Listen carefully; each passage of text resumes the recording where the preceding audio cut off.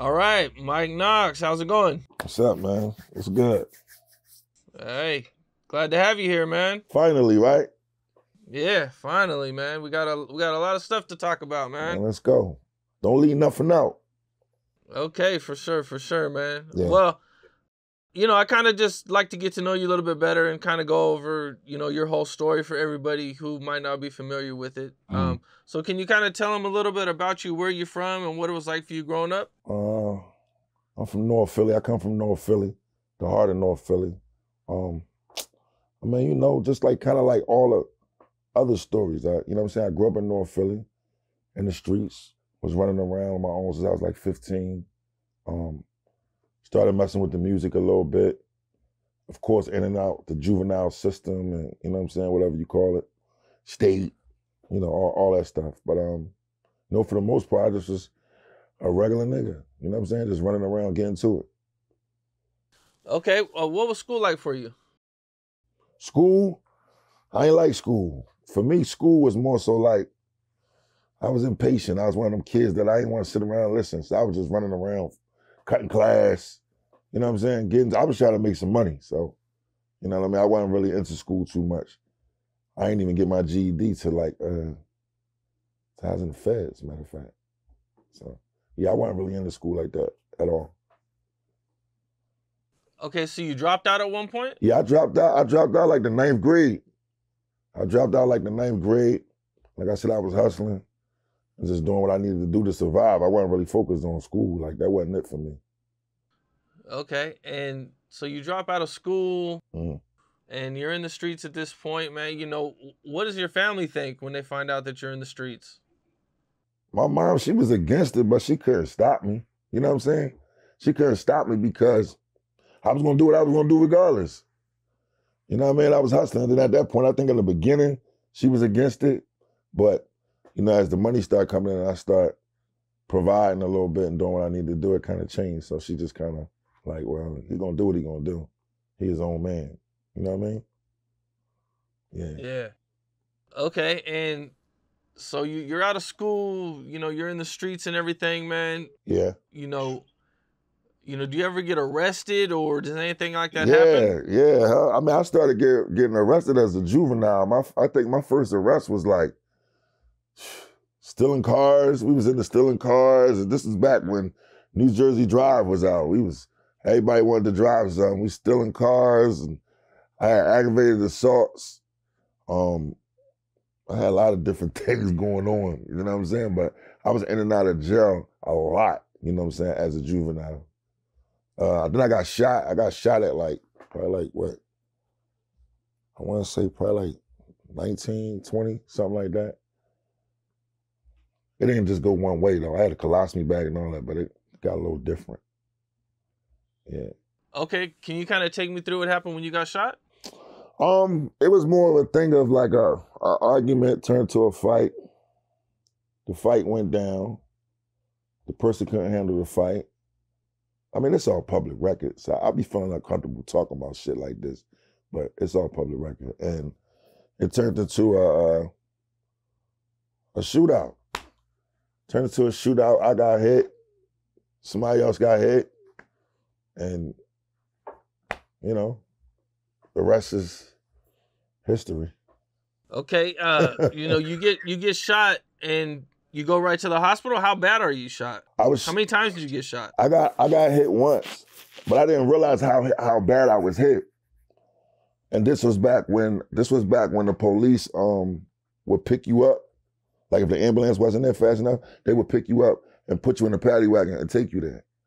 So they took me there. So I didn't realize how bad I was hit till I got to the hospital. And I'm like throwing up. I'm like throwing up bad. Like I couldn't even see the blood like where I was leaking from. But I'm like throwing up bad. And then um next thing you know, they put me to sleep. I woke up, I had a fucking colostomy bag on me. So I had to shit out of a bag for about a year. And um one of my legs was messed up, and the doctor told me I wasn't really gonna never be able to use that leg again. I'm like, man, you crazy. And I just started dragging my leg around until it got like, you know what I'm saying, better. That shit just made me paranoid. So I started carrying guns after that. Wearing bulletproof vests, carrying guns. It just got a little different. Damn. Um, yeah. uh, how many surgeries did you have to go through? Uh, I had to actually go through two surgeries. The first surgery was uh, when I got shot, and then I had to go back to get another surgery to reverse for the colostomy bag. And I was blessed to be able to not have to keep the colostomy bag. So I had to go back for that. And that was worse than getting shot. So at first you thought you were gonna have to wear that for the rest of your life? Yeah, I did. I did. But because they said the bullet had shot had shattered my bowel cord. So it wasn't definite that I was gonna be able to get it reversed. You know what I'm saying? And I was blessed to be able to get it reversed. You know what I'm saying? So just imagine you walking around every day with a shit bag on and you just don't know if you're gonna be able to get it reversed or not. Damn. Yeah. For a year. Damn, man. And you're in the middle of a war. You're still going through it with the actual situation. And the person that shot you is like, that's what he do. You know what I'm saying? That's what he he's he's that. So, and I'm young at the time. So I, you know what I'm saying, that turned me up to make me be a certain way because now I got to I got to have my head on a swivel because it's active. We own it at that time. We talking years ago. We talking, man, we talking we talking 90s, like we talking like 97, 96, something like that. Oh, were you still in the streets even with the the bag on you and everything? Yeah, I had to be. I still was hustling. Still was hustling coming through. Anybody in my city that know me will tell you, still was hustling, still was coming through. Back then I had the Audi 5000, go Audi 5000, the crazy system in it, running around the Cu- Cuban link chains on and, you know what I'm saying, getting to it. Damn. Okay, and you said this uh you know this changed you and made you turn up? Yeah, it made me, that's what actually made me start rapping because I had caught like a, I started having like a bad temper. I think I used to be having like hot flashes all the time, I guess from when I got shot. So um I never forget the first the first encounter that I had with my bad temper was when they had me in the hospital, like all my niggas was there. Like my mom was there, my pop was there. And the detectives came to the hospital. And when the detectives came to the hospital, they tried to talk to me. So I'm like, I don't want to talk to them. You know what I'm saying? And they so they pulling out mug shots and they got like all these mug shots. This why I'm on a, I'm in a bed, like I'm I'm fucked up. I'm literally just waking up. Like, you know what I'm saying? Like from the surgery and all that. So they like, yo, did one of these guys shoots you? I'm like, man, get the fuck out my get the fuck out my room. And they like, yo, he very disrespectful. And. I'm like, fuck, I'm not telling y'all shit. You know what I'm saying? And that was my first notice of like my reaction, like after being shot. And I started to be like that all the time. So I never forget I went to go see my doctor. My doctor was like, you should find something to do to just, you know, curve your your attitude, because your attitude is shitty. It's, it's it's fucked up. So I'm like, damn. So I start like writing stuff down that was bothering me. Then it just turned to me start rapping. I start start writing verses. So that's how I started doing music. Did you ever worry about the guy coming back? Yeah. Hell yeah. He was a shooter. You gotta understand, I was young at that time. You see what I'm saying? So I was in the streets, but I was more of a, a fighter at that time than I was playing with with with guns. But you know, at that point, you gotta you ain't got no choice but to step up and do what you gotta do. You know what I'm saying? So yeah, I was I had to be on it. It was it was like that. He was a he was a different type of guy. You know what I'm saying? He approached you at one point, right? Yeah. Yeah. As time went on, like I said, this leg, my left leg was kind of bad. And um, what happened was I'm washing my car one day, but I knew what kind of car he drove, right? And I'm doing something to my tire and this car come up. And when the car came up, it was him. But the way my leg was, I couldn't get myself up in time. And my gun was inside the house. But my window was right there. My cousin was staying with me at the time. And um, I'm like, damn, he got me. As soon as I seen the car, he like hopped out and he like, yo, I, I just want to holler at you. So I'm like, I'm like, damn, he already hit me once. You know what I'm saying? Then his little nigga got hit in the process of, the shootout. So now I'm looking and I'm like, this shit ain't gonna go right. You know what I'm saying? And he gonna tag me. And I, I can't run because my leg's still up. But he like, no, this shit was all wrong. It was a miscommunication. you know what I'm saying, on their end, and it just got kind of we we kind of squashed it, which was kind of like the best thing to do at that time, at that period in my life at that time, because like I said, I I was active, but I was more of a fighter than I was playing with that. You know what I'm saying? And he was he was polished at that time. Like that's what he do, and he was older than me, so it was a different thing then. Okay, and uh, I believe at one point, you know, you moved out of your house early. Yeah, I moved out my house. I left home when I was 15. Never went back. Mm. How come you moved out so early? Because at the time, right, my little sister, uh, dad was there. We ain't really get along like that. Like we cool now though, but we didn't really get along like that. You know, it's like going through that you ain't my dad shit, and you know what I mean. So we just, I was sticking my chest out. So it's like, man, I'm out of here. You know what I'm saying? And uh, I was just on my own. Like that's what I wanted to do. You know what I mean? I wanted to, I wanted to get money. You know what I mean? I was hanging around older people that was hustling. I wanted to get money. So I started living with my man who was older than me. You know what I'm saying? And I was just I start I started getting to getting to it. What was that like for you being out as at such a young age? You know, you're kind of on your own at that point. The first I would say the first maybe couple months was rough. Shit, I was damn near homeless at first, like nowhere to go. Like my family wasn't like we what I ain't had a family where we had all these houses and like I didn't I didn't have that. Like my family was small, you know what I'm saying? So for me it's like I might stay over my man house this night. I might stay over my other man house this night. We we used to play ball back in the day, so I play ball all day and won't nobody know I might sleep on the bench that night. Come back, they think I'm coming back to play ball, but I never left. You know what I'm saying? And then I go to my grandma's house and wash up. You know what I mean? Put something on, then come back out. So the whole day would be, my whole day would be cool, but I'd be like in my mind while we playing ball when it's getting dark, like where I'm gonna stay at the night. That made me try to figure out I needed to hustle. So I started hustling weed. You know what I'm saying? Like, like I was just doing whatever I needed to do to survive. Were you rapping at this time? No, like I knew how because you gotta figure this was this was like it was like early. It was like early. You know what I'm saying? Like like real early for me. So no, I wasn't, but I liked it, but I wasn't on it because I was just focused on trying to get some money.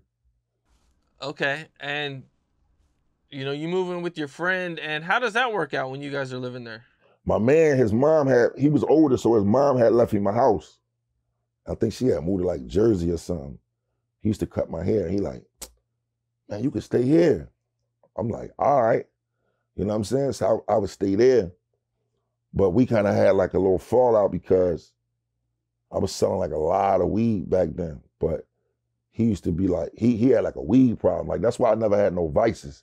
He had like a weed problem. So he was going to my stash and shit like that. I'm like, oh no, I can't do this. You know what I'm saying? And then I I, uh, I moved out, got my own apartment. You know what I'm saying? And I just started taking care of myself, like never turned back. What's that like? You got your own apartment, and you're you're, you're young. You, throwing parties? No, I wasn't really throwing parties. Like I had my high school sweetheart with me at the time, so we had a spot together. You know what I'm saying? But it was just like normal. Was, I was more so happy that I had a roof. You know what I'm saying? That I could just sleep at night. I don't gotta get up and rush. I ain't gotta jump up before nobody people's come in. I ain't gotta do none of that. I could just relax. And I think I kind of got used to that and just being like I had to be older early. You know, because you gotta remember at the time when I left home, I was 15. So started hustling, you gotta figure I'm at like 17 now. You gotta remember this prior before I get shot. I didn't get shot yet. I didn't get shot till I was about 18, 19, somewhere in there, like between 18 and 20 is when I got shot. So from 15 to then, from 15 to now, I've been on my own. I haven't been back home. Okay, and I believe uh, you said when you got shot is was when you started rapping. Exactly. You know, who are some people you looked up to? One one of my best friends, he was uh he was always rapping. So I used to always go to his house when I was like 10. Like I used to wear sneakers and all that. Like go up on this. I used to have all the sneakers. I used to go up on this big of the sneakers. He had the turntable. We played with the turntables and all that. But he he wanted to rap, so I just I would mess with it, but I wasn't really messing with it like that. So it was just always like in me. So like I said, you know, when I got shot, that's when I started really, really like taking it serious because that was my that was like my medication. You know what I'm saying? So I would write verses like I would listen to like Pop, I would listen to Scarface, G Rap. You know what I mean? I was just like, damn, like if they could talk about what they dealing with, I could talk about what I'm dealing with. So I would write my verses and just put whatever it is I was feeling like, and I would I would just write them and I would say them on records, and we would go in the studio and record like like my first studio sessions, like studio time back then was high as shit. So I would write two and three songs, and but now you gotta deliver it right because you only got a couple hours. So I might get two songs down and then rush the last song. You know what I mean? And I was just always conditioned like that for a long time in the beginning to always do three records in the studio, but the first two be right. The third one be off. That's the one you work on when you come back and book a new session, and then you do your new two after that song. You know what I'm saying? So I was always conditioned to do that. Okay. Uh, were you producing too at the time? Uh, I started messing with the MP when when I had got shot. I had the, when I had the Cosby bag. I figured my first probably, I would say my first three to four months I was stuck in the house. Cause I couldn't really move that much like that with my leg, like, you know what I mean? And I knew I couldn't really be out there like that because I was, it was a war, it was on. So I went and bought music equipment, and that's when I started like working on it, making beats and shit like that. A lot of people don't know that I used to make beats. I don't even be saying nothing. Hmm. You slick with that one. You been you been digging. Whatever. You've been digging. You've been you've been digging. yeah, yeah, yeah, uh, Yeah. yeah. We did some good homework, man. yeah. Any wild prison stories you could share? in the state, I got into it with a guard before, but that was that was when I went back because I came home off the state joint, and then I ended up going back as a violator, and I was in Graterford Prison on E Block. Because when you are when you a violator, you go to to E Block.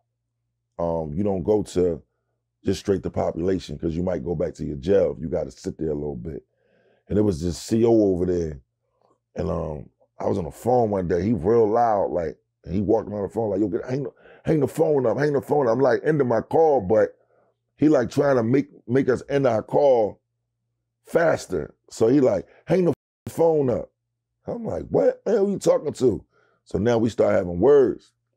So he like, "All right, let's take it in the cell." But he telling me to come because they got like a cell and Graterford on each block. They got like a cell. Well, Graterford is done now, but they had like cells that it's the officer cell. They might got tissue and all this in there, whatever, you know, supplies. They just make it like a like a cell that's a supply room. So like, you come on, you want some work? We can go in the cell. So like, all right, come on, let's go. So the whole block, now mind you, the way Graterford blocks was, you might got about, I might be a little off, man. You might got about probably three to four hundred people on one block, on each side, up and down. You know what I'm saying? This actually the jail that Wallo did 20 years in that I'm talking about. You know what I'm saying? And um, I went in the cell with him. But they telling me the whole time I'm walking, like, yo, don't go in the cell with him, don't go in the cell with him. I'm like, man, I'm tired. I'm going in the cell with him. So when I went in the cell with him, I'm thinking we about to rip. And I know he gonna hit the button on me, but I'm like, if he hit the button, all the police coming, at least I'm I'm gonna get him. So I go in there, we go in there, right? So he like, uh, of course I turn my back immediately, you know what I'm saying? So he went and swing on me first. As soon as he come in, he like, man, why you fronting on me in front of everybody? I'm like, no, man, you talking crazy. You ain't gotta talk like that. Like he didn't even want to fight, but he didn't want them to see that he was really this way for real, for real. That wasn't the way he was. Like, man, don't do that, man. Like now they looking at me, and I'm like, yeah, but you could have just told me. You know what I mean? Hang up the phone. You ain't had the curse and all that. Like, I'm on the phone my peoples. So he like, all right, we're gonna leave this here, this, that, and the third. He like, but I gotta write you up. I'm like, I don't give a fuck about no write up. But I didn't know the write up meant I was going to the hole. So he take me to my cell, double lock the cell. Everybody knew we ain't fight. He double locked my cell with the write up, and then I had to go and see the um, I think the state, I think they call it DHO. Is it DHO they call it? Uh, the state. I think it's DHO. Anyway, I go see DHO. And it was this old lady. I'm like, oh, all right, I'm gonna be cool. She gonna let me out. She gave me a hundred and twenty days in the hole. But I only had like probably 32 days left to max out. So she basically was saying, max out in the hole. You're not going back to the population. So I maxed out in the hole. But do you know if I was to go back to state right now, I got to do the rest of those days in the hole that stay on the shelf forever. You got to finish that out first before you can go back to population. Yeah, they got to get me in the state first. That ain't happening. No. Damn. So the CEO was just trying to act tough. Yeah, he was just trying to act tough. Yeah. Damn. yeah. Okay, so okay, so you get out of jail, and what do you do with yourself, man? Are you are you? Do you ever Um, try to go straight? Do you ever try to get a job? Nah, yeah, I tried that. I tried that. That shit ain't work though. I'm gonna tell you why. First, you know, when you get certain felonies, like when you get a felony, period, don't- nobody really want to hire you. You know what I'm saying? And then any job that come, it be like under the table jobs. So I worked at like a moving storage company for probably about. I did that shit probably for like 60 days, man. That shit when I was, it was moving too much shit. I couldn't do that. So I went back to hustling. I went back to the streets. I went back to what I know. Okay, and you're rapping at this point though, and are are things picking up some for you? Oh, let me see. Um, we had I had to like a group situation with a team I was down with. We did something with like Tommy Boy Records, but that shit ain't really work because they shelved that shit. You know what I mean? And it's crazy because the A and R from Tommy Boy Records at that time, it's my guy. He's my guy. His name Chris Atlas. And it's crazy how the world just spin around because when I left the situation, he told me he wanted to sign me as a solo artist. And uh, he was like, yo, just, you know what I mean, just hold off. But I ain't hold off. I'm like, man, I'm going to the streets. I ain't got time for this rap shit. It's too much bullshit with it at that time. And um, he ended up going off to do great things. And he actually did a lot of things with uh with Ross and them. Yeah. Okay, and so this doesn't work out, Yeah. but you keep going. That you know, are you? Do you have a buzz in the street at all at yeah, this my, my, point? my buzz in the street was crazy. Like, uh, you gotta figure I was on um I start I started doing a lot of freestyles and shit on on a come up show with Cosmic Kev and Q Deezy. It was like that was the thing in the city. Like if you was on the radio, if Cosmic Kev was playing your freestyle, bringing that shit back, shouting you out, and that sh- and you was hard, it was over. So it was like I had the streets, like like they would f- me hard, and I'm talking about at a time you gotta understand, and I tell people this all the time. I was dropping freestyles and getting motion at the time when Beanie Sigel and Major Figgas was out. State property didn't come yet. They was on their way though. I'm talking about when it was Beanie Sigel, Gillie, and, and and Spade, and all of them, and when they was like they was going crazy like on everything. They was doing the dead man walk in on flex, and you know they was doing a lot of shit. I'm coming. I'm in pocket. I ain't had no team. It was just me. It was just me, just coming from the streets. It was just me, just coming with this voice. And I kept hitting and kept hitting them. And then, you know, I started doing joints with them. You know what I'm saying? And we just, I just was smashing all over the radio. Like nonstop, nonstop, nonstop. Every freestyle, every record. I knew how to make records. So I was always just in that, I was always in that pocket. I was always in that list. They couldn't deny me. Even if you ain't like me, you ain't had no choice but to say, man, that nigga be all over the radio though, bro. He always coming with some shit every time. Were you meeting anybody or or or getting noticed by anybody at this point? Um, at that point, I would say like I was still in the streets hard. I was, I was, I didn't know what I was doing. All I knew was just like all I all I had at that time was Cosmic Kev. You know what I'm saying? And I would take him shit and he'd be like, yo, this too long, or yo, why you ain't do this, or yo, why you ain't do that? And I would take it back and critique it. So still to this day, when I go and I make records, I think about shit that he taught me. You know, just You know, because the DJ know, a DJ know how a record is. You know what I'm saying? Supposed to be. So, you know, at that time, I kind of like he all I had at that time, and we used to go at it. I'm talking about like we used to argue, yell at each other, damn near about to fight, like all kinds of shit. This used to be crazy, but I was just passionate about what I was trying to do, and we knew each other for a long time. You know what I'm saying? And his uh his brother, rest in peace to, to Kenny Lee, that was my man too. You know what I'm saying? So it was a different relationship. So I ain't gonna say me and him had a hate love relationship. I wouldn't say hate love because it, uh, it sound weird. We just had a, uh, it was a real, it was a real friendship. You know, friends go through shit. You know what I mean? You know what I mean? He just wouldn't play shit just because we was cool. It had to be How'd you guys meet? We met through somebody, and when we met, we was about to fight. And I think he just kind of liked it me, like, I'm gonna see what he about. You know what I'm saying? And then he just start start liking me and shit. You know what I'm saying? When he was going to the radio stations, I would go with him. You know what I'm saying? And sit there while he doing his sets. A lot of people don't know this shit. Like I used to sit there when he first was doing his hours and hours and a half, and I would sit there. Or sometimes I would go down and hear him in um, Kobe Cole and watch him. You know what I mean? And watch him and QDJ just do the show. You know what I mean? Like I was there when uh it's funny because when Beanie like when Beans got got his deal, I was there the first day he rapped.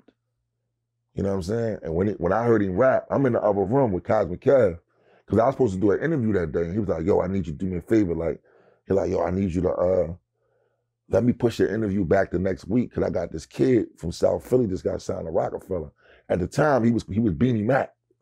He like, he coming up to spit. Now, mind you, I wasn't one of those guys that would rap for hours or spit all these verses. I wasn't doing that shit. You know what I mean? Like, I ain't taking that from nobody else, but I was too in the streets for that shit. I ain't got time to be saying right no more thousand bars. I'm not doing that shit. I'm gonna give you 16 and you get the out of here. So he came up. I said, all right, cool. I said, I want to see him. Cause nobody knew what he looked like. So I'm like, all right, bet. He like, come up. I come up, I'm sitting in the DJ room with him. But they in, they on the other side. That nigga start rapping. I was like, man, I'm done with this rap shit. He got it.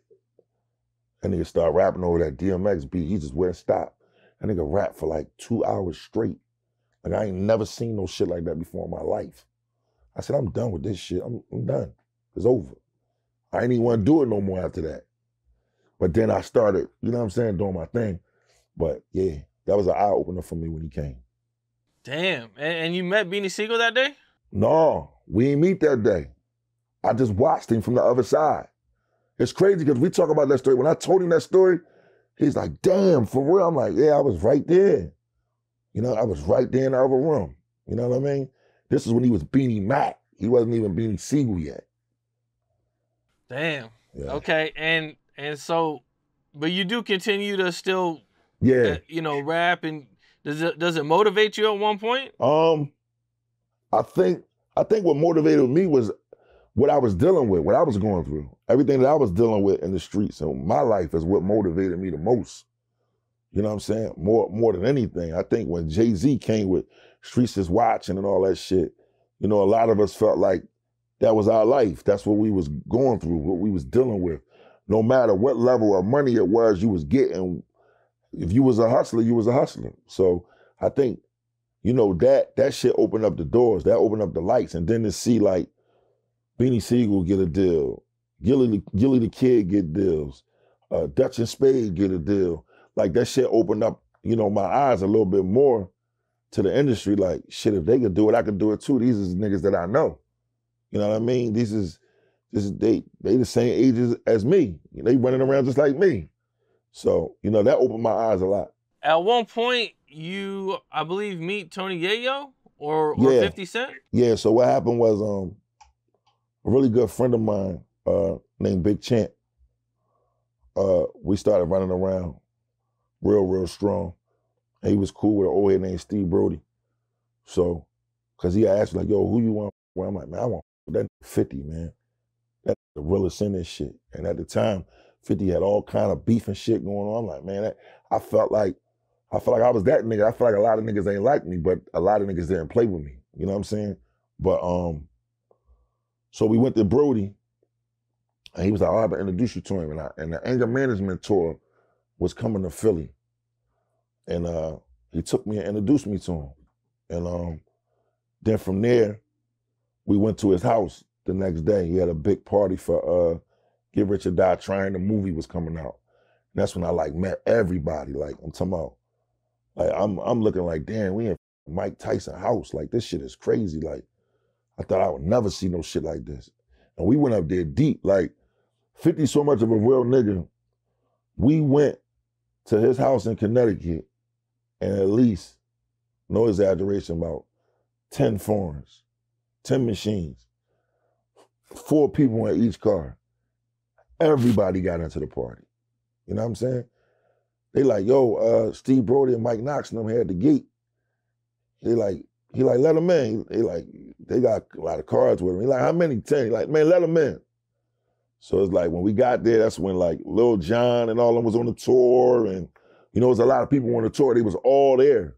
Like, I'm talking about everybody was at this party. Every, anybody that was somebody was at this party. You know what I mean? And he was like, yo, we gonna figure it out. we gonna figure it out. But then that shit started happening with him in the game. You know what I'm saying? Like they start going at it. So it was like to be a new nigga trying to come into something when some shit like that going on, it just wasn't it wasn't the, the perfect timing. But you know what I mean? And um, then we had a show. We had a show in Philly where where we booked Tony Yayo. So we booked Tony Yayo. So this what I did. I'm like, damn, I gotta show these niggas who I am. You know what I'm saying? Like, so they came. So I booked, no exaggeration. I put this on, I put this on everything I love. I booked every room on the same floor he was on in the hotel. He'll tell you this. I booked every room, right? I had all this weed, and this the craziest story that's gonna you up. So we meet. He come to my room. He like, damn, he got all these niggas around. So he wanted some weed. Like, yo, I want some weed. I said, we got weed. So I said, I said, my man got weed. I, am not gonna say my young boy because I don't look at him as my young boy because he my man. But it, it, just they just was younger than me. But you know what I mean? They was coming around at the time. Like we with each other hard. So I'm like, my man got weed. He like who? I'm like right here. I pointed to him. He was on the game. It was Meek Mills. Meek Mills had the weed at the time. He was he was selling dro like haze and Dro. So he like, damn, you got the weed? He like, yeah, you know, I'm a Meek Mills, whatever. I had Meek Mills and Joey Jihad in my in my hotel room at that time. You know what I'm saying? So Meek gave him the weed. Like Meek was so thorough. Then I had the uh Mike Knox game over G on the t-shirts on. He had one on. Joey Jihad had one on. And I literally had a hundred niggas with like I'm no exaggeration. If I'm lying, Yayo will tell you I'm lying. I had a hundred niggas with me. We went to the show. Ye was like, yo, I'm gonna come out right after you go on. He's like, I'm right here. I'm watching the show and everything. He watched the show, then he came out. He like, yo, you gotta come out on stage with me. And then something happened in the midst of the crowd. Well, I think somebody tried to say something slick to Ye or something like I don't, I don't know what it was. But we all jumped in the crowd. You know what I'm saying? And it got a little crazy for a minute, but then it got it got it got fixed real fast. So after the show, we leaving. This when I knew he was a real nigga. They pulled off. Boom. Now, mind you, like I said, I got a hundred niggas with me. When he left, he busted a U-turn and came back and got out his bulletproof truck like, yo, you good? I said, bro, I'm good. I'm in my city. I'm good. He like, I'll make sure, I just wanted to make sure you good, my nigga. That's when I knew he was a real nigga. You know what I'm saying? Because any other niggas, they got their money, they perform, they gonna get in their shit and get the out of here and roll. So, so mind you, I forgot when we was in the hotel after we did everything, he hosted a mixtape for me. He like, yo, I'm gonna host your mixtape. I'm like, all right, bet. Like, how you want to do it? He like, your man got the camera, right? I'm like, yeah. He like, all right, I'm gonna do it right now. He like, y'all can just take the audio from the video. He did the mixtape. He he did all these drops for my mixtape. My engineer at the time took the audio, put it together, and we was able to put it out. Took a picture with me for the cover. He did he did all that. You know what I'm saying? He took took a whole picture. He did all that. So um, then after that, what happened after that? Oh, he told he told 50 about me. He was like, yo, Fifth, it's this nigga in Philly named Mike Knox, man. That nigga kind of serious, bro. That nigga had a hundred niggas with me when we was out there. He like, what?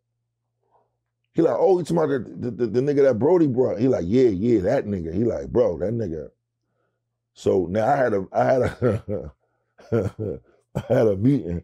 This how off I was at the time. I had a meeting at, uh, at G Unit. And I came up there, I thought that was the way I was supposed to be. First time I came up there, I had like 50 niggas with me, like coming to the office. It's like, you can't let all these niggas come with you. Like, what you doing? And um, then I finally had the meeting with Sha Money. I had because they kept hearing so much about me. They kept hearing so much about me. And it was like, let's figure out what we doing. You know what I'm saying? But like I said, the shit was going on with gang. And um that was that was that was kind of like a little thing at that time. He was focusing on that. And um and then and then I had a meeting with Sha Money. And I played music for him and all that shit. And he was like, yo, I'm gonna um I'm gonna let Fifth know what's up. Like, like we gonna we gonna we gonna figure something out. And at the time, uh, it was between me and the uh, Hot Rod. And uh Sha Money was working with Hot Rod. You know what I'm saying? No disrespect to Sha Money and that like that. But the difference was Sha Money was working with Hot Rod. I think Hot Rod was from Arizona. Now that I know, you know, years later, Hot Rod was from Arizona and Sha Money was living out Arizona. So I think he was like working with Hot Rod. You know what I'm saying? He liked me too, but you know, his his investment his he was investing in Hot Rod or whatever. So and I guess that's who Fifth liked at the time. So he went with Hot Rod. You know what I'm saying? And I kind of like just sat back and just still didn't give up and was making my way. You know what I'm saying? Just grinding it out. You mentioned Meek Mill. So Yeah. so you knew Meek Mill even way back then? Hell yeah, me and Meek Mill from the same hood, from North Philly. Yeah. Do you remember how you guys met? Um, you know what's crazy? I don't remember the first exact day we met. Um, I want to say it might have been through Oskino because Oskino and Jihad was cool, and we used to take Jihad around to battle people. So I think we, I think it was like kind of one of them days where Meek and Jihad was together because Meek and Jihad used to kick it together back then when they was young. So I think it was one of them. Like it might have been like that. Like, and then I recognized like, damn, Meek, you live right around, the, not not too far from, you know, where I'm at. Because I lived on 16th and um, and Cecil B. Moore. It used to be 16th in Columbia, but 16th and Cecil B. Moore. And he was from Berks, Burke Street. You know what I'm saying? So that's like literally, you know what I mean? So it was just like we just mashed. We he was always like cool. He was never like, you know, no bullshit. We was always cool. You know what I'm saying? Was he rapping at the time? Yeah, he was rapping. He was rapping his ass off. At, at um, he was down with headshots at the time, and I remember he had went to jail. I think he had went to jail for that case. If that, if I'm not mistaken, I think that's the case where he was on probation for a long time, where he got the cops beat him up and all that shit with the gun and all that dumb shit, and um, I think his bail was for like ten thousand or something. I, I think niggas couldn't niggas could they probably couldn't get him out or something like that. But um when he did get out, he parted ways from them. But I had a studio on Delaware Avenue, right? Like the Sugar House is there now, a casino, but my studio was across the street from there. Um, and they used my old head, me and him partnered up with it, you know, after he kind of fell back. And they used to come down. You know what I'm saying? Uh, Joey Jihad, Quilly, Meek, AR Ab, they all came. And the first song that Meek and AR Ab did was was really with me over a freestyle off my Philadelphia mixtape. And um, you know, I was cool with all of them. Like we we was all cool. But he was rap he was rapping like that then, like rapping over beats for hours and all that shit. He was doing that shit then. he always was gonna be. He just needed a shot. He was doing it then. Damn. Yeah. You got any any memories or stories you could share from from back then with him? Um. Yeah, I, I I remember he when he start getting his look. Like I said, you, matter of fact, Meek was locked up. When Meek was locked up, um, he was locked up with somebody else that I knew, and um, that person was down for a attempt, and uh, I think they were Sully's or something like that. And Meek called me like, "Yo, he went he went to court, man, but he ain't, he ain't never come back to the, he never come back to the jail tonight." I said, "I know he out here with us." He like, "What? What the?" But Meek had to detain her. And I remember he was like, "Yo, tell Kara play my shit for me, man." And um, he didn't have he had like a lot of freestyles and all that shit then. And um, then he came home and he just he started tearing shit up, booking his own studio time. You know, it'd be him. It'd be all of us in the Batcave studio. It'd be me, Meek, Gil, O'Malley, Black De Niro, uh, that, Eight Gang. Like it, it like a, just be a, a uh, Garci, Ready Rock. It just be a bunch of us in there. You know what I'm saying? Just just knocking out records. Like he'll be doing a session and he don't even care niggas is in there. We all we all would be doing sessions, but we all are just being each other's session. You know what I mean? And everybody was from all over, whether niggas are strapped or whatever. We all with each other. You know what I mean? Laugh, joke, kicked it. Like, and we did that shit for years. And a lot of people don't know a lot of songs and freestyles that Cosmic Kev was playing came from us being in the back cave, just just kicking it, not even planning it. Like, yo, what beat you working on? Y'all working on this? You got a verse for it? Yeah. You know what I'm saying? Like it just would be like that. Me could be like, yo, you got something for this? Yeah. And that's just like how like a lot of freestyles and records got done. I remember at one point, you know, there was like gonna be a G Unit Philly. Yeah. So so what had happened was Fifth had liked it a lot of artists in Philly. Cause you know, like we was the like the um we was on World Star and you know, YouTube was blowing up. So you had a lot of rappers on YouTube rapping and freestyling and being on all the DVDs. So he was like, yo, I wanna I wanna do something. You know what I'm saying? So um I was like getting artists together, you know what I'm saying? And he's like, yo, start your own thing out there. Yayo was like, yo, start your own thing out there. You know what I'm saying? Grab these niggas and and, and make something happen. I'm like, all right. Um, and I like took people, I took people to fifth. I took uh Reed Dollars to 50. I took uh shit, Cheat Raw to 50. And um then I ended up just putting my own thing together where it was like me, Tone Trump, I Vegas, and Kodak. You know what I mean? I had the studio, so I was able to, I was invested into a studio with a, a, a OG of mine that, that believed in me. You know what I'm saying? So I was able to do whatever I wanted 24 hours. So all we did was rec- record music. And um, we did a mixtape. And um, when we did the mixtape, we, we we put some heat together. We just we just was pushing, you know what I'm saying. But eventually, some things fell off. I got booked, um, but in the process of that, even before that, and after that, I think kind of like the media shit was kind of too much for certain people. You know what I'm saying? Because if you look at G Unit, G Unit always had got some type of backlash, whether it was good or bad. You know what I mean? You got to be really built for this shit to really understand it. You know what I'm saying? And um, I think some people just didn't understand it. You know what I mean? Niggas was younger than them, though. So, you know, being older, I'm pretty sure they understand, like, damn, Knox really was looking out for niggas. You know what I'm saying? Like, trying to give niggas a, a, a chance, an opportunity, or whatever.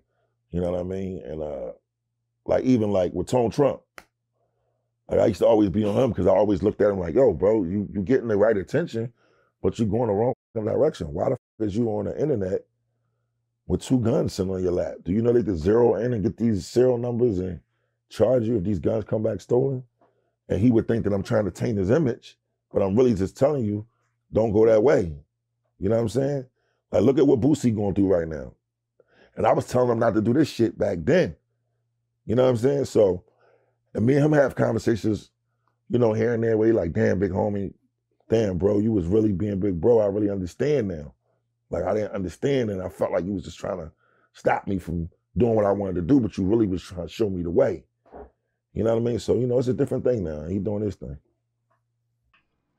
Yeah, for sure, for sure. Do you ever go on tour with G Unit? Yeah. Um, when I came home from my fat bit, I went on tour with 50. We was gone for like shit, maybe right before COVID. We was going for probably like two, three months. Every day on the jet for like two, three months, going everywhere. So yeah, I definitely did that. What was that like? Do you have any wild stories from being on tour with it, with 50 and everybody? It was unbelievable. Put it that way. It was very rich, comfortable. Everything's everything is five star, nothing less. I'm talking about from the towels to the food to the hotels. Nigga, they I had a hotel room so big, I went back downstairs and gave him the key, thinking they gave me the gave me his room. I thought it was his room. Like, yo, I think y'all gave me the wrong key. And they like, no, that's your room. And I'm like, damn, these this my room? My room looked like a mansion. Like literally, like this shit was crazy. And then it's like you're doing a show, you're doing an in-store, then you're hopping on the jet and you're going to another state. Then you're hopping on the jet, going to another state. You're hopping on the jet, going to another state. Then you're in the car, then you're here, then you're on the jet, then you're on the, shit was you hopping off a jet to get on another jet. This shit was crazy. You understand? I'm fresh out the feds and this shit is happening. I'm like, what the f-? Okay. You know what I mean? So yeah. Is there any wild times that happen? As far as what? Like uh any fights or anything on tour? Somebody always get punched on. You know how that shit go. There's always somebody that put themselves in a bad space. But not not not I mean not really, because we don't be looking for no trouble. We just be trying to do what we gotta do and get out of there. We never the ones that start no trouble and like niggas don't be wanting lawsuits and all that shit. Don't nobody got time for that shit. Niggas on grown man time you know, now you're with G Unit and everything, man. Mm-hmm. And you'd mentioned the whole game situation, man. I, I think you put out a song dissing Game and Young Buck. Oh yeah. yeah, you know, at that moment it was like whatever they gotta do to get on. If we gotta go head up, that's what that's what we gotta do. You know what I'm saying? Did you ever meet Game and Young Buck before yeah, the song Buck. or anything? Yeah I, yeah, I met Buck before. The Buck came late though. But yeah, I, I yeah, I met Buck. Like Buck was to me, Buck was a cool. Like Buck is I, I, I still don't understand some things, but who am I to speak on it? You know what I'm saying? Like that shit is bigger than me with them. But Buck was a cool nigga. I used to talk to Buck when I was locked up. Like, you know what I'm saying? Like Buck used to like FaceTime me and all that shit. Like, I mean, I could talk about it now because I ain't in no more. But you know, before all this other shit started going on with Buck, like Buck used to pick up the phone. All of them used to pick up the phone for me. Buck, Yay, Fifth, they always picking up the phone for me. You know what I'm saying? So, yeah, I met I met them niggas. Now, when you get on though, but his biggest issue is with Ja Rule. Yeah do you ever run into Ja Rule or have any incidents over over his beef with Ja Rule? No, because you would have heard about it. No. Like, my loyalty a little bit wired different. You know what I'm saying? So, no. No. Mm-mm.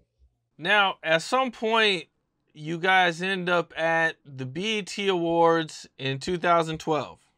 Right. Can you kind of take me through that whole night and situation? As I remember it uh, vividly, we was there for. How about this? I, I I do I do you one better. I remember being in the G Unit office, right? And the show CD came over for the BET Awards. And that's when they asked Fifth if he would do it. You know, um, rest in peace to Chris Lighty. They had set up a, a tribute for Chris Lighty. And I think people in the office at the time were a little nervous about um if Fifth would would would do it because of who were on like the lineup of the actual uh you know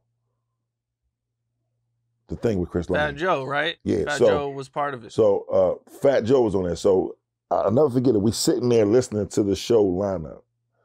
They actually had um I think Flex. I think Flex set the set the music up if I'm correct. And we listening. And they just waited for Joe's part to come. And they looked at the response to see how he would respond to it. And he was like, oh, okay. Because it was for Chris Lighty. So none of that shit mattered anymore at that moment. You know, when when Chris passed, um, it's crazy because I was blessed to be around him, like, which was a blessing. You know what I mean? Uh, I remember being in 50 Bulletproof Truck, me, 50 and Chris Lighty together, and we drove to Alicia Keys' studio for a meeting with um with Alicia Keys and Swizz. And um, you know, Chris was a good guy. He was about his business. And I learned a lot just being around him the times that I was around him. You know, he used to have this thing where he used to say, like, uh, at shows, he about politics walking through. That means he coming through with some serious people, move out the way. They going to see 50. But um, so, so to get back to the BET Awards, so once he heard the setup, it was a go that we was doing it. You know what I mean? So we got out there. We had to go for rehearsal. Actually, I had um missed the first part of the actual rehearsal when they was going, you know, to see him. When he first first seen Joe, I had missed that part. I got there after that. So I was already told that, you know, him and Joe, like they they spoke on stage because they had to do a pre-run before the actual show. The weird thing about the BET Hip Hop Awards that year was this. I don't know who was in charge. I don't know who set things up, but all of the trailers were set up. It was set up for mass destruction. You had Fat Joe's trailer here. You had Diddy trailer here. You had T.I. trailer here. 50 Cent trailer. Meek Mill's trailer. Two Chainz trailer. Rick Ross trailer. And then I think French Montana trailer. So yeah, all of these people trailers like this around each other. And this shit is going on right now. So, but at that moment, um, everything with Joe was was off. You know, like Eif Rivera was was fifth guy who was Fat Joe's guy, you know, and well, Eif is like a brother to me. He did my video uh back block, my first major video when I came home. He showed me so much love and got it sent to so many different places for me. Um and you know, Eif has done uh, I think BMF, Power, all these different things, and uh, Bobby Brown special, all these different things. So anyway, you know, just just making sure I plug my guys right. But so everything was cool at that moment. When it was time for us to walk to the stage, before it was time for us to walk to the stage, I guess gunplay had arrived. The space that we was in, you could still see the front. Fifth was doing the interview inside his trailer. Uh, all of us was outside of the trailer talking, kicking it. You know, we spotted him, we seen him. So important people, when I say the people, like this is why I say when he tells this story, he's the only thing I think he didn't know was that it was squashed at that moment with Joe. It was over. Um he didn't want to he wanted to come in the back. They telling him to go another way. I don't know if because he felt like, why am I going another way? Or no, I'm going in the back. This is where I was told to come, or whatever case may be. Ross and them had already went inside. The shit had already happened with Ross and Jeezy. I don't care about that shit. That ain't my business. But Um, now, mind you, prior to that, we had already seen Meek. Meek is my man. We took pictures, all that shit. Boom. Meek and them went in. Gunplay still standing back there. Now you got executives that's telling him to go another way. You got people from Interscope telling him to go another way. He's being told this multiple times to go another way. And he realizes in the process of being told that that he see us back there. I think he's seen Yayo or he said whoever he's seen, he knew like we was back there. So now he's really like, oh, that's why he tell me, oh, I know. So he want to be seen now. So what he did was, we got to walk because the timing of the show, they're performing. You know, it was Missy, Busta, um, Joe. I forgot who else was on there, but it, we got to get to the actual inside and to the stage in order for Fifth to be on the side of the stage before it's time for him to actually go on and do his part. Because nobody even knew he was there.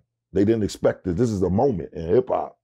This is a moment for Chris Lighty, one of the biggest legendary managers in the game that's no longer with us. This is a moment. So it's not about no violence. It's not about no bullshit. Everything is, it's cool, calm. So we like that. We walking. Come on, let's go. We got to get to where we got to go. We walking. Fifth's not paying it no mind at all. He's not even thinking about none of that shit. I don't know what he's thinking about. He's not thinking about that at all. He's never, he never shows any type of emotion or anything. Where's the issue? So when we get to the steps, the steps is so small, right? That gunplay times itself walking because it's so many of us, only two people could walk like this at the same time. So he makes it to where as though he kind of meets fifth. I don't know if he thought he was going to swing on him. I don't know if he thought he was, whatever he thought he was about to do. And the homie looked at him and said to him, You know you're not supposed to be here right now. And then he got punched in the mouth. And after he got punched, he got his ass beat from the steps down to the ground. And all I remember was we were him up because it's like you always in complete violation number one. We here for Chris Lighty. We're not even here for this shit. Nobody not on nothing. Rick Ross even walked through prior to that and wasn't on that type of time. You know what I'm saying? But you making it an issue where we just moving in peace and trying to do what we got to do. But nobody's gonna play with you because you you out of bounds. You caught you out of bounds, and you've been talking all this crazy shit on the internet anyway. And now you got to be the man that you say you are. So he got his ass beat. That's it. In the process of the fight kicking off, I'm the biggest one. So by me being the biggest one, they starts pepper spraying. So when they pepper spray, in the midst of them pepper spraying me, I'm already all over them. You know what I'm saying? So when they start the pepper spray, everybody's like spreading out, but the pepper spray hit me big. So when the pepper, I don't, I don't know what type of pepper spray this shit was, but it hit me. So when it hit me, I falls. Like, damn, boom. So now I'm trying to get up. So I'm feeling somebody hit me in my back. They not punching me in my face. No, none of this shit. I'm getting hit in my back because I'm falling trying to get up. The only reason why I'm not swinging back is because I think it's the police. I'm thinking the police is trying to, you know, contain me because I keep getting up. So I'm thinking they trying to contain me to cuff me because we beating his ass in front of them. So if you beating somebody's ass in front of the police, what are they going to do? Arrest you, right? So I'm like this, but I can't see. I'm just keep feeling this in my back. I'm never get. If you look at the video, I never got hit in my face not one time, right?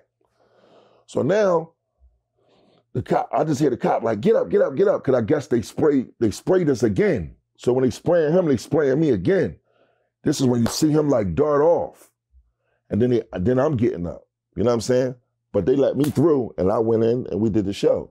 I was uh, waiting to get out, and the police won't let me out. And I had a thing behind me. I could either jump that and and run into the darkness like a coward, or we could just run it right here. So, uh, Mike Knox, I think that's his name, big guy. He threw a punch. I threw a punch. Uh, then. So, so from the video, you know, they they all kind of jump on you. Yeah. You know, and then and then it gets broken up. Yeah. Then it get broken up. The and and then pepper spray broke everybody up, and but, then it but was my before that turn. happens, you go after somebody. yeah. Then I then I jumped on one of them. Uh, I think it was Mike Knox again. But prior to that, I grabbed his chain off his neck and swung him like a rag doll and took his chain off his neck. Now, my thing is this. This shit happened 10 years ago. Not 10 months ago, 10 years ago. Why are you still talking about this shit? Because this was gonna happen. This how this is how bullshit start trickling up. Just as well as he got niggas, I got niggas too. My phone ring too. I know people in different places too. You understand what I'm saying? So now you making a situation that's not a situation anymore. I get it. You feel away, you got your ass beat. All right, you want to fight? We can fight. You want to get in the ring? We get in the ring. What you calling Ye- What you calling Yayo out for? Anyway, I, I asked the uh, celebrity box Tony Yayo the other day. Anyway. So you you want to box Tony Yayo and some celebrity? yeah, celebrity I'll boxers? celebrity box Tony Yayo. Cause, Cause he was definitely there. Cause you can yeah, hear he Tony was- Yayo. but he ain't do nothing. All you heard was him saying, "Yeah, nigga, yeah, nigga, yeah, yeah, nigga, yeah, nigga." Why you calling him? Um? Don't call him out. Call me out. Get in the ring with me. And then I feel away because you keep getting on these drinks talking about what you would have did and what you would have did to Mike Knox and all that. I don't. I be taking a light on this situation because I don't really care about it. And I'm really like a different type of dude. Like meaning like this internet. People watch this shit. People, kids watch this shit. So I don't be saying certain shit because I'm just a different type of individual. But what I will say is anything I I, I, I want to say, I'll say it to your face instead of saying it on the internet. It's been 10 years. It's 10 years and you still talking about this ass whooping that nobody gives a fuck about. Like nobody cares about this ass whooping. And you sitting here saying if you had a knife, what you would have did to me, or I would stabbed him in his armpits if I had a knife. No, you wouldn't have because if you would have did that, you wouldn't be here today to talk about it. then I jumped on one of them. Uh, I think it was Mike Knox again, and uh, I wish I had my shank on me. then I would have. I was already going out with a bang, and I said, "Nah, don't take the shank, dog. Don't add no extra charges, dog. If you, but if I would have brought that, I would have jabbed him right in his armpit, right there. Nah, let me take take that back because they gonna persecute me again, dogs. Gunplay says he's gonna stab Mike Knox. Nah, nah. but um, nah, I just you know just try to get some get back. There's no way in the world you would have did something like that to me and thinking you're gonna be here to talk about it. And that's just what it is. We're just gonna be real with what this shit is. Everybody keeps saying what they will do, what they about, what they this. There's no videos of me being knocked out all over the internet. There's I don't have he got he gets knocked out on a normal basis. This is what he gets into. He gets drunk and gets up. I don't do drugs. I don't come from none of that. You understand what I'm saying? So my thing is let that shit go. Because it's gonna get ugly for no reason. Because you keep bringing up shit from the past and you kicking up dust. And at the end of the day, if you feel away and you want to get the shit off your chest, let's get in the ring and get off, get it off our chest. I know he couldn't stand two rounds with me. Anybody want to put the money up or feel like they want to bet on that shit? I knock that nigga out in a round or the second round, guaranteed. I'll rumble the nigga. I don't have no problem with getting in the ring and beating him the up by myself. That's a fact. That's that's what I do. So if he wants to do that, we could do that. But all this keep getting on people blogs and trying to make a press run like this is what he did the first time. See, the first time people don't realize. As soon as after this shit happened, the next day, this nigga was on the Breakfast Club on the radio. No, I'm lying. This nigga was on TMZ, lying, saying he didn't get jumped, lying, saying he, oh, and the scar was on my face. Nigga, you didn't show your face until weeks later. You know you was. You know what I'm saying? So now my thing is like, you try to make this a press run, and now you bringing it up again when you need to be talking about how you're not happy with your homeboy. How your homeboy ain't really doing shit for you. Like you just got, you just had a post where you give a nigga a chain while he laying in the bed trying to sleep, looking like he ain't even had you on the schedule to see you that day. But you getting on these blogs and you keep talking about what you would have done that day. Let's be for real, man. It happened the way it happened. You was out of bounds. You was out of pocket. You was dead wrong. I leave it at that. That's it. That's all. Cause you ain't gonna do shit. What happened to his chain? I don't know. That shit lost and found somewhere. Nobody want that shit. It popped up in a music video one time. I was in the feds by then. See, Oh. people don't know that day that I was on a surrender time for 30 days. I was about to go in and start my sentence. I had a seven year bid to do. So that's why I didn't really care about about that shit. You know what I'm saying? I didn't I didn't really care about it. I wasn't I didn't even zero zero in on it. Like I went to jail so fast right after that that I was watch I was looking at the shit in magazines seeing what he was saying and all this shit. I'm like, why this nigga saying my name? All you had to do was go the other way.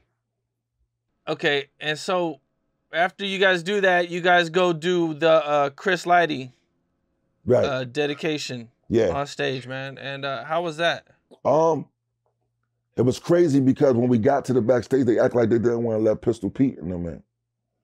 And Fifth was like, yo, GU and the Terror Squad, they got to come in. I'm not going in until they go in. And, you know, they let them in and we all spoke, went in. Fifth did the show. And then we left. Oh, so they were hesitant to put Terror Squad and G Unit there at the same time. Well, when we was going in, because you gotta remember the fights is breaking out. The shit just happened with Ross and Jeezy. Then the shit happened with us. They didn't even want to let us go in when Fifth was about to perform. But you know, we not we not not going in after this shit then kicked off. You know what I'm saying? So they was trying to stop Yay, me, every they was trying to stop all of us from going in. But they couldn't. So and it's crazy because the the the show was rolling while this was happening. So we still was able to make it in and get it done. And like I said, after that, that's when he just went on this like, because my whole thing was, damn, we just got in a fight at the BET Award. This shit gonna be all on the camera. They might call, you know, my, my lawyer might call and say, yo, you gotta go in early. I didn't want that. So I'm not saying nothing. I'm not doing no interviews. I'm I'm denying I was even there. I ain't even saying I was there. But he going on at TMZ and then he calls in the Breakfast Club. He just trying to do like a whole promo run, thinking somebody want to talk about this shit. We thinking he gonna leave this shit in the street. He took it to the he took it to the radio and made it something else. So I just followed up because what happened was the first video that came out was me down on the ground, pepper spray, and him hit me in my back. So in his mind, he thinking, oh, it ain't no other video. Yeah, I could say this, that, and the third.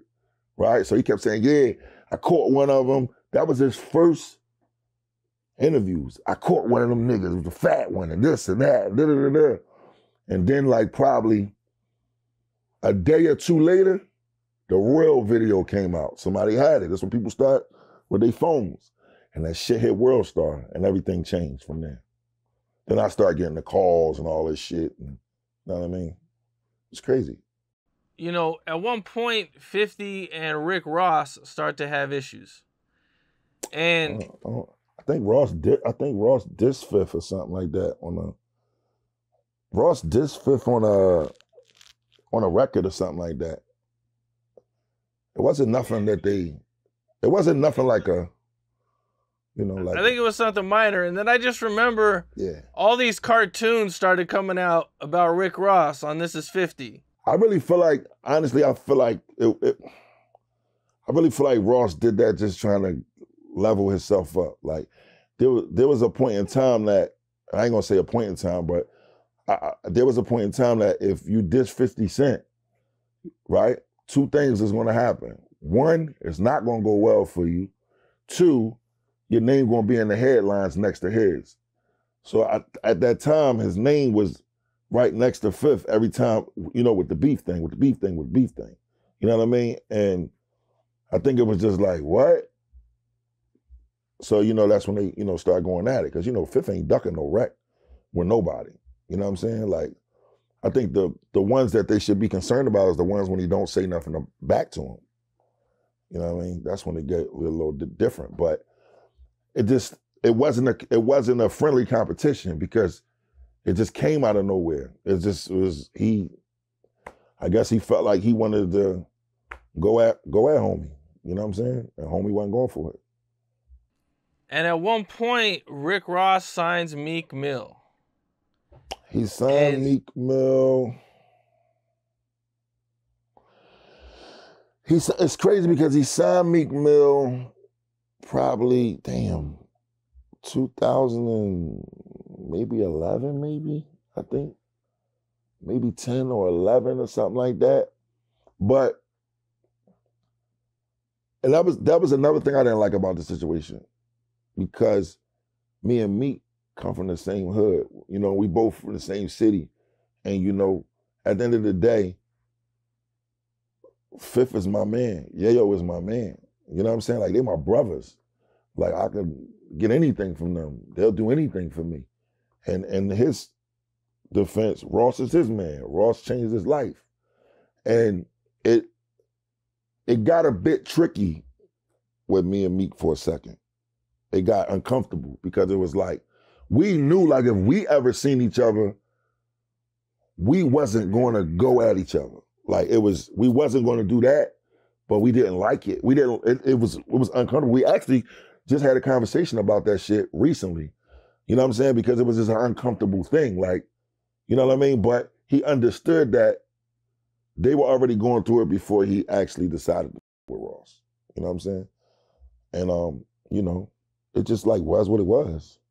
You know, it's kind of like knowing two people that know the same people and they both going through some shit. Yeah. Yeah, man. That was uh yeah, I, I, can imagine that was probably pretty difficult for you guys. No, it was. It, it, it definitely was. And and then it, it got difficult again later for me when him and Meek started to kind of like go through go through it for a second. You know, only because it was just like I I didn't understand what was going on. And I wasn't here. I was in the feds. You know what I mean? I was just, it was uncomfortable. You know what I'm saying? But they worked it out. You know what I mean? They they talked and seen eye to eye or whatever. Like, you know what I mean? That's what men do. You know what I mean? And, and, and guess what? I just feel like even with this situation, when people when when when they get physical with people, it's hard to turn that around to make it like okay. You know what I'm saying? But when you going back and you keep going back, all you're doing is making people on your side. You're just making people on your side upset. You're making people on my side upset. They don't want to hear that shit. They don't want to hear what you would have done to me. You know what I'm saying? Same way your people don't want to hear what I could have done to you or what I will do to you. You understand? Nobody wants to hear that shit. So it's like, leave that shit alone. If not, if you feel away, then let's get in the ring and fix it. Easy. One of the things you're very well known for mm-hmm. is your fight with Beanie Sigel. Right.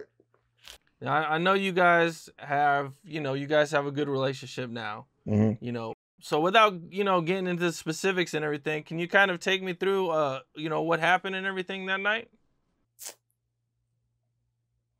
Yo, it, it's crazy because that fight is older than the shit with gunplay very, very older. Like that shit is like, I don't even remember that shit.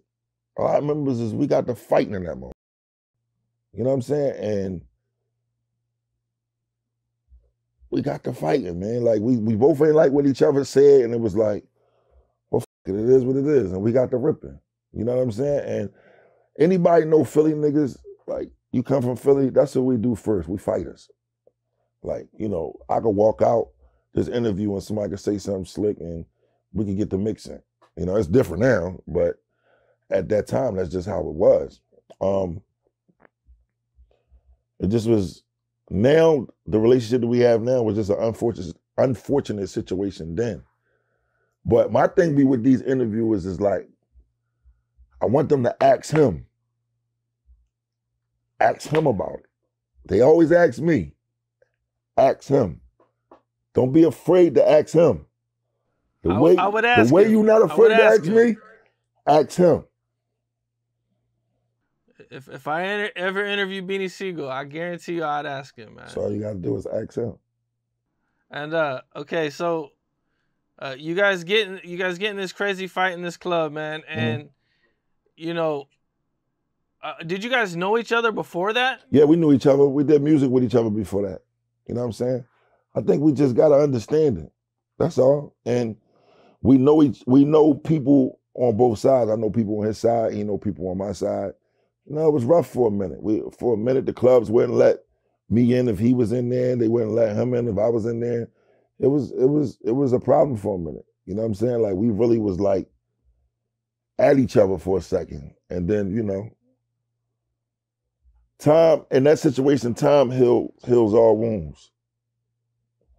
And through his cousin Pooh and, and his brother News, um, it just we just got over that shit. Cause I got a lot of love for them. You know what I mean? And me and him was cool, like I said, you know, we was cool. And um one day we seen each other, I think we was at the electric factory or some shit. Jadakiss and them had something going on there. And we seen each other and we just looked at each other and just bust out laughing. And hugged and it was just over. You know what I'm saying? We never, you know, it was just over. And I think we we had conversations about it. It's like it'd be like some shit like, nigga, your hand's big as shit. But nigga, your hand's big as shit. Like it'd be like funny shit for us, like that people probably won't understand. But we don't really, we don't, we don't, we don't care about that shit. You know what I'm saying? I hope the youth look at that situation and be like, damn, them two went through it. If they could squash it, we could squash some shit. You know what I mean? What what year was this? Woo! 2004? Like four or five? Roughly? Yeah. Oh, okay.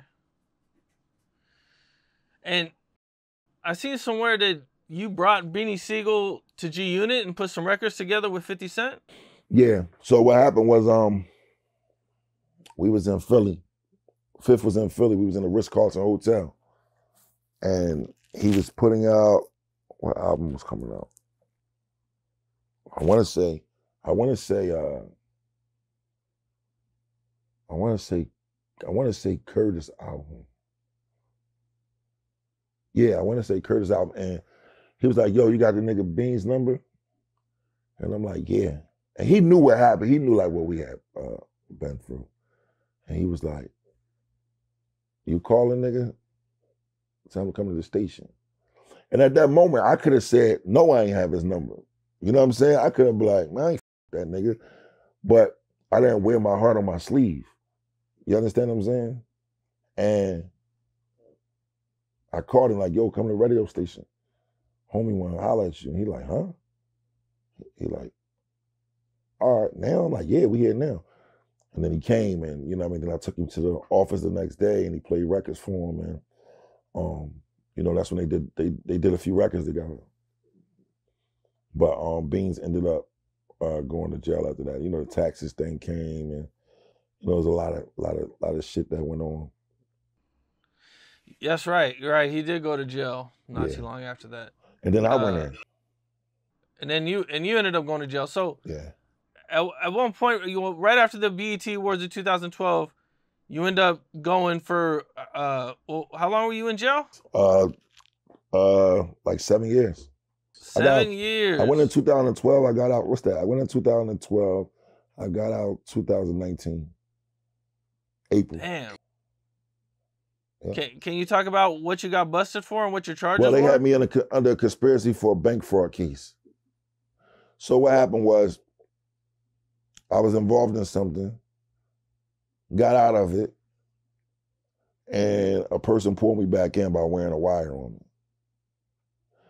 And when they had the conversation with me, basically whatever they had already told the feds, when they had the conversation with me about me talking and being aware of what they were talking about, that showed that I was that they were being truthful about them already telling them on telling on me. So that gave me conspiracy to uh the whole case, which made me number two in the indictment. And uh they indicted me. They indicted me. Yeah. Okay, so so you get indicted mm-hmm. and do you fight the case? Do you take a deal? Well, me and my co-defendant, our whole thing was to fight in the beginning.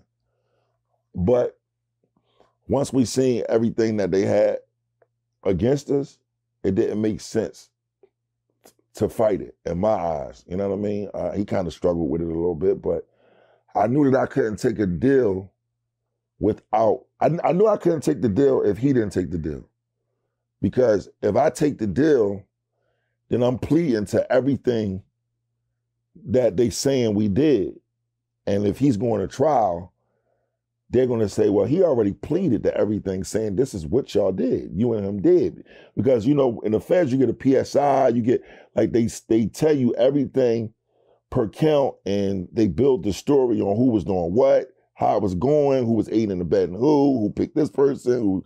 So it was the entire story. So in order for me to get uh, a lesser sentence, I would have to plead to that without no cooperating on anybody. But I would have to plead to those charges.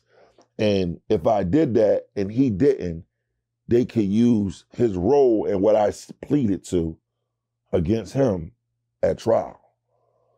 So we decided to plead to, you know, together to plead. You know what I'm saying? So I I um I pleaded one day. He pleaded the next day behind me, and then I, we both got sentenced on the same day, but like two hours apart. Because everybody else in our case, besides um maybe one, two, like maybe three people Three other people didn't tell. But um yeah, it was a person that wore a wire on me. It was a female from um it was this girl from Jersey. She told on him. Um, she told on him bad. She told on, you know, I, I didn't even know her. I knew her of her, but I didn't know her like that. But yeah, she told. So, uh, you know, you've been to jail mm-hmm. uh, before G Unit and now you're going to jail. In the middle of and you're from G Unit. In the middle of my shit. You know what I'm saying? 50 Cent, man. I mean, you know, mogul, mm-hmm. you know, huge, man. You know, what's it like for you now in jail, being from G Unit? Um, it's crazy because, like I said, people don't understand when you're in the streets and you walk away from something that you, it can still come back to you. You know what I'm saying? Because I was actually out of it. I wasn't even doing it no more. So it was just like it was already an investigation, and and it came back in the midst of things going on for me. So when I went to jail, I was I was up behind it. I was I was I couldn't believe it. You know what I'm saying? I couldn't believe like, damn, they told on me and this shit coming up and this shit is old and I'm like, damn. So, you know, I had to face the music that my music career wasn't going to be. I didn't even like even before I went to jail, I didn't even know if 50 and them was even gonna f me no more. You know what I mean? Because of my past shit. And they supported me every step of the way. Like, you know, he he he gave me money towards my lawyer. Um, he was even trying to put up money for me not to go to jail. But the lawyer couldn't guarantee that if the money was paid back, that I wouldn't go to jail. And he looked at me and I'm like, nah, bro, I'm gonna just go do what I gotta do because I don't wanna have this man put up a quarter of a million dollars for me and I still go to jail. And then when I come home, it's like I'm just a nigga that went to jail and you wasted a quarter million dollars on and you can't get your, you didn't get your money back from like who wants to see that see that nigga? You know what I'm saying? So I, I didn't want to be that. You know, and people don't understand like so much that so he's done so much uh for me, you know, opportunities, sending me money, sending me a sprinter when I got out, coming to see me in Philly when I got out, being in my video, just doing different things. You know what I'm saying? So, you know, when you when you got a person like that or people like that in your life, you're supposed to be there to do anything they they may need you to do. You know what I'm saying? So whether it's uh uh rapping, security, assistant, uh making this run, being there, whatever it may be, that's what I'm willing to do for my people because that's just the loyalty in me. They didn't have to do shit for me. You know what I mean? I'm not just like that with them. I'm like that with people that y'all don't even see, like my cousin who's sitting behind the scenes. I'm like that with him. So it's like, you know, and my family and my loved ones. So I'm like that with everybody. So when people say little shit, oh, he 50 security, he this, he that. Yeah, but I, am seeing the world. You know what I'm saying? I'm I'm I'm le- I'm leveling up. I've made more money doing shit than other niggas have done doing that shit. You know what I'm saying? So, hey, I may be security doing this. I'm an artist here. I'm a manager here. I'm an entrepreneur here. I'm an owner here. It's like I got I wear multiple hats. And when you in this industry, you can't wear one hat because you ain't gonna get no more nothing. You only gonna get one one check. So you gotta get in where you fit in with this shit. I see you were in the same jail as Southwest T. Yep. I was in the same jail as Southwest T. We was in Fort Dix together. Me and T was in a hole together. We used to talk through the vent. okay. Yeah. Well, what was that like? Crazy. Now, me being in the jail, I can say that I had some moments in the jail where I had to get busy. You know what I'm saying? Um, cause jail is jail, man. Like I ain't want to run around in jail looking like uh the man and, and and and looking like, you know, like I just like I ain't want to do that. You know what I mean? So I, I, I wouldn't care. I'd be in that joint woofing, walking around, people be like, 50 ain't no with that nigga. They don't with him like that. He ain't, man, that nigga. Look, they or or they cut him off. All because I'm not running around buying every pair of sneakers that come on commissary, buying every sweatsuit that come on commissary to look cute for a bunch of niggas. I didn't care about that shit. I just wanted to get the fuck out of there. So, you know, I had a few times where I had to get busy and handle my business, but I didn't get played with. I didn't get played with like that. Do you have any stories or anything with Southwest T you could share? Um, the phones. We was getting the phones. We was getting the phones in there, sending the phones over, because he was on the west side. He know the vibes. He was on the west side, I was on the east side. You know what I mean? I don't want to say too much because there's people in them joints that's still doing what they do that's provide for their family. So all I'm gonna say is, you know, we was doing us. Now you get out of jail, and uh-huh. you know what do you do with yourself when you get out of jail? Do you go, you know, straight back to uh to the music? Um, I did, I did. At first, I wasn't though, but people kept telling me, "Yo, you should do it. You should do it. You should do it." And then I had the support of, my family. I had the support of my, you know, my close friends, my cousin, um, and I still had the G on the support. You know what I mean? They sent the sprinter for me. As soon as I got in the sprinter, the cameras was there. Fifty was on Facetime. So it was just like, let's go. You know, all I needed to do was just come with the record and, and just get busy. And I think for me, it was like, it was so much happening so fast that I had to kind of pace myself. But it was, yeah, that's that's what made me get back in it though. The support. People really gotta have support. You know, when you go in them jails, man, get a little different. So, you know, coming out, you you be wondering what's gonna be there for you. You know you gotta get your feet to the ground and get it, especially when you are a hustler. So I knew that I had to um to make some things happen. And the tour, that tour that I was telling you that I did with him, that was like one of the first things that we did. After I got out the halfway house and they gave me permission to travel and all that stuff, that was the first thing I did, the tour. Uh, what is, so what all are you working on right now? Um, right now I got my own independent label called 1722 Music Group. Um, my first placement was um, Work the Block I got that put inside the Power TV show. Um, I'm booking artists now, work, working a lot with different artists and uh, different actors like Michael Rainey from Power and uh, Joseph Sikora from Power, and you know, just doing booking things and you know, getting artists going and just doing things on the on the deaf side of things, on top of still doing music.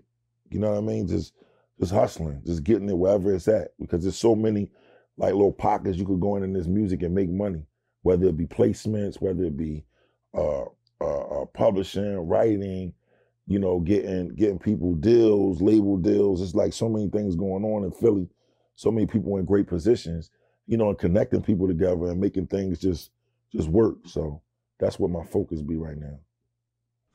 So you're working with a lot of the guys from Power. Yeah, yeah, I do a lot of stuff like you know booking for shows. You know what I mean? I do a lot of a lot of different things, man, and it's been it's been good. It's been good. So like thing. what they'll like show up to the club and get like a club fee or something like that. Yeah, they come out, hang out in the club. You know, like they, people want to see them. You know what I mean? So I, will do that. Um, I'm the guy. I'm the go-to guy. You know, you might be like, yo, I need to get with such and such. You might call me. It's gonna be a fee though, but I'm gonna get you there. You know what I'm saying? So you know that's that's what I'm on right now and building up my own label and you know grabbing artists and you know what I mean, being in these different labels and I got people in different major labels in in, in these in these in New York and in Cali, so I'm able to just do what I need to do. Okay, man, that's what's up, man. Yeah. That's that's a lot of good stuff coming out, man. And I got you a got... partnership with my man Jerry Wonda. Um, got the studio in New York, Platinum Sounds, Wonder Music. So you know, we doing a lot of stuff together. We put some EPs out. You know, we're gonna put some more music out, put out some more artists, you know what I mean? And really, really get shit done, man. We trying to work this year. This summer, we we gonna turn it up. Do you ever go while they're recording Power? Are you involved in Power at all? Involved, I would say no, not involved, but I've been around it. Yeah, I've been around it. I see, I see how it go and what they do is very quiet on set. And, you know what I mean? They be hands on, but like I don't got nothing to do with no writing, no none of that. That's they thing. Power's dope, man. I yeah, love power. Yeah, yeah. It's crazy for me. I think it's more crazy to actually kick it with the actors offset. To like they, because you gotta understand they acting, so their personalities from is different from when they are on screen. They cool though, you know what I mean. But it's it's, it's just different, and and and like uh, Joseph Joseph Sikora, which who plays Tommy on Power, is really, really my guy. Like he's really, really a close friend uh, of mine. Shout out to Renee too. Um, they, those are like my my bros right there. Like we really got like a real serious bond, and you know we just be talking about a lot of things with film and you know production companies and different movies that he got coming, and you know everybody got something that they working on that they're excited about. So just to be in the mix, I'm still learning. You know what I mean? Being around a lot of stuff and you know, of course you learn stuff being around Fif, but you got to be a hustler in this. You can't just look for somebody to just hand you nothing. You got to get out there and get it yourself. You know what I mean? So building the relationships, I got a lot of great relationships. And this is why I say this thing with Gunplay is so irritating to me because I'm building a brand. I'm, I'm somewhere else, but I am who I am. You understand what I'm saying? But I'm building a brand and I'm, I'm moving on to try to do bigger and better things and not get caught up in this street shit. You know what I mean? That's where everybody, like, what are we rapping for? What do we come in entertainment for? Do we come in entertainment to show that we just these super duper street guys and what, go to jail? I went to jail back and forth. How many more times am I going to go to jail before they say we're not letting you out here ever again? So for me, I'm in this to win. I'm not in this to be out here. Like now they see rapper, you know what they say? Indictment or die. One or the other. That's all they seeing. You understand what I'm saying? So it's like, my my initial reaction to any situation, I'm going to stick my chest out because I'm not gonna let nobody play with me. But at the end of the day, like my man say, if it's not a problem, it's no problem. If it's a problem, then we'll address the problem. Well, that's what it is, man. You know? Man, Mike, I appreciate you, man. For sure. For you know, dope history, uh, you know, dope interview, dope stories, man. Oh, doubt. You know, uh, man, I, I just appreciate you taking the time. For sure, man. Look, more music is to come. Get ready. My label 1722 Music Group. Get ready. You see, you see the merch. It's right here. Right? Just just just get just get ready, man. It's coming. That's what it is. All right, bro. Oh yeah, my social media. I gotta tell you my social media. Uh, Instagram at Mike Knox Official. That's M I K E K N O X Official. Again, Mike Knox Official. M I K E K N O X Official. Um, Twitter's the same. They got this new thing now uh, through Instagram. It's like uh, shit, Twitch? threads or something. Twitch, Twitch or something like that. I think I, I don't know. I forget the name, but I'm on there too. You know what I mean? But like I said, just get ready. New music coming. You know what I'm saying? Uh, I'm working on a, I'm working on a film too. I got a film coming too. I'm working on that, and um, I'm looking for artists. I'm always looking for artists. I'm looking for singers too, producers, everything. Like we want the whole full throttle. You know what I'm saying? Shout out to the whole Philly. Shout out to uh, man. Shout out to everybody that support me. You know what I'm saying? Shout out to uh, Stack the Star of Records. Shout out to Big Money Records.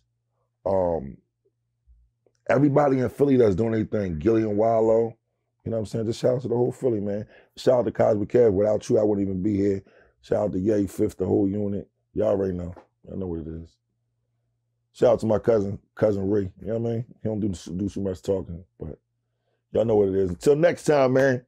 I don't know how this gonna go, but till next time, hopefully I ain't gotta.